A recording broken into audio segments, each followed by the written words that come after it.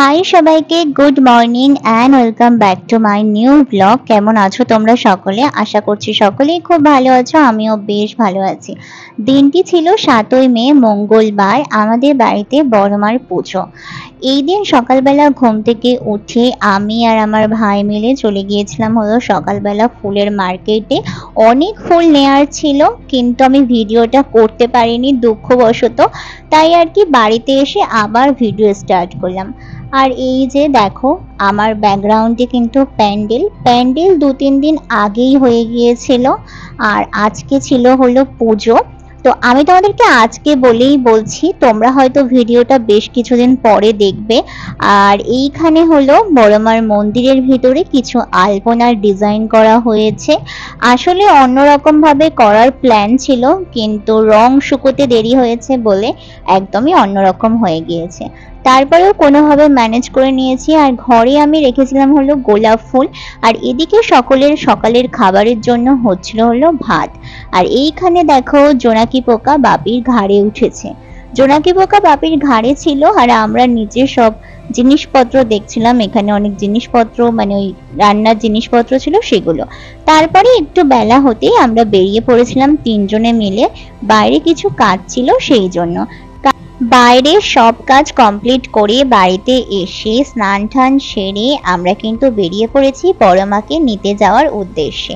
বড়মা এখন রয়েছে পালের কাছে, সেখান থেকে নিয়ে আসব। আর এখানে দেখো সঞ্জুদাকে বসিয়েছে ভ্যানের মাঝখানে। আর এছাড়া আমরা সবাই নিজেদের বেশ ভালোভাবে সিট নিয়ে বসেছিলাম। যাই হোক, এগুলো সব মজা। তারপর হলো চলে যাচ্ছি এখন বড় মাকে নিতে। আর এই দিনটার জন্য না আমরা সারা বছর অপেক্ষা করতে থাকি।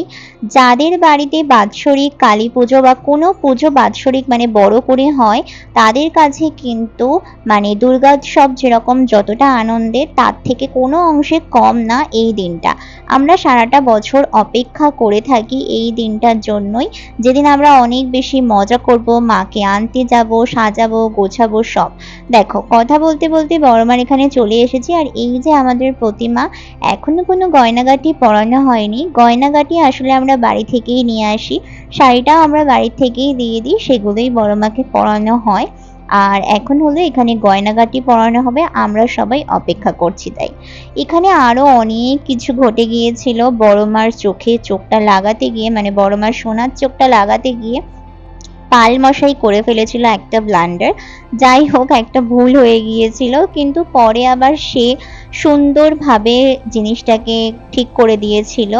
আসলে ওই যে একটা কথা আছে না, যে ভাঙে সেই আবার গড়ে। তো ওরকমই ব্যাপারটা আমরা তো সেই সময় খুব চিন্তায় পড়ে গিয়েছিলাম যে কি হবে, বড়মার একদম ফেসের মাঝখান থেকে একদম বিশ্রীভাবে একটা আঠা পড়ে গিয়েছিল। কিন্তু পরবর্তীকালে উনি সবটাই ঠিকঠাক করে দিয়েছে। যাই হোক, এই তো আমরা এখানে সবাই মিলে অপেক্ষা করছি আর বড় মা এখানে চলছে সাজুগুজু করছে।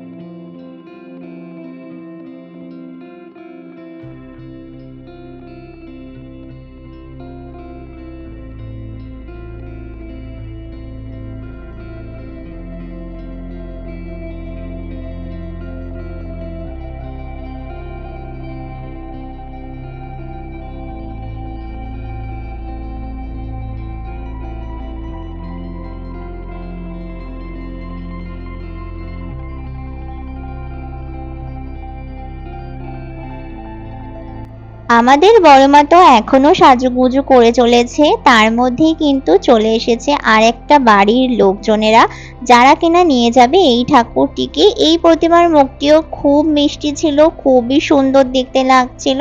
তাই আর কি ওনারও একটু ভিডিও ক্লিপ আমি তুলে নিয়েছিলাম সেই সময়। তোমাদের সাথেও আর শেয়ার না করে থাকতে পারলাম না, তাই আর কি তোমাদের সাথেও শেয়ার করে দিলাম।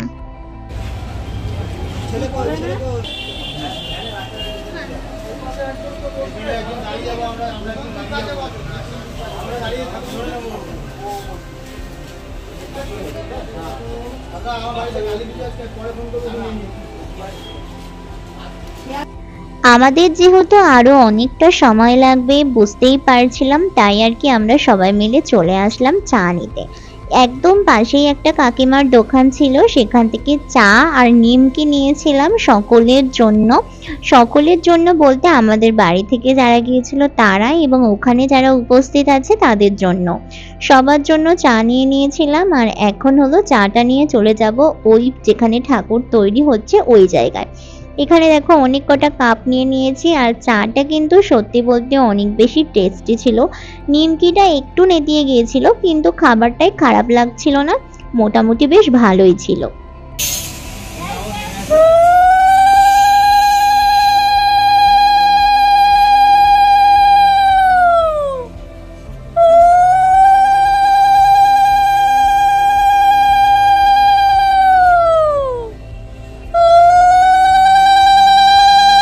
দেখো, বড়মা কিন্তু একদম তৈরি। এবার আমরা ভ্যানে তুলে নিয়েছি আর এখন আমরা বড়মাকে নিয়ে বাড়ির উদ্দেশ্যে রওনা দেব।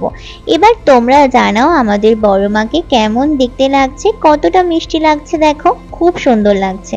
কথা বলতে বলতে বাড়িতেও চলে এসেছে বড় মা এটার জন্যই তো সারা বছরের অপেক্ষা। বড় মা এখন ঘরে ঢুকেছে। বেশ কিছুদিন আগে বড় মা যখন বিসর্জন হয়ে গিয়েছিল, তখন কিন্তু মনটা বেশ খারাপ হয়ে গিয়েছিল। কারণ মন্দিরের বেদিটার দিকে তাকালেই একদম ফাঁকা ফাঁকা লাগতো।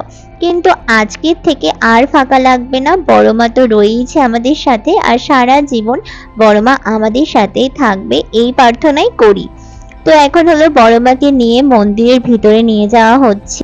আর হ্যাঁ ভিডিওটা আজকের অনেক বেশি লম্বা হয়ে যাচ্ছিল, তাই আর কি আমি এই ভিডিওটাকে বেশি দূর এগোলাম না। আজকের ভিডিও আমি এখানেই শেষ করছি। ভিডিওটি ভালো লাগলে প্লিজ একটা লাইক করে দেবে, আর আমার চ্যানেলটাকে অবশ্যই করে সাবস্ক্রাইব করবে। দেখা হবে পরের কোনো ভিডিওতে। ততক্ষণ সুস্থ থেকো, সাবধানে থেকো, ভালো থেকো। তো চলো আজকের মতো এখানেই শেষ করছি। টাটা। পরের ভিডিওর জন্য অপেক্ষা করো। আশা করছি আমাদের বাড়ির পুজোর আরও বেশ কিছু অংশ তোমাদের সাথে শেয়ার করতে পারব। তো চলো, টাটা!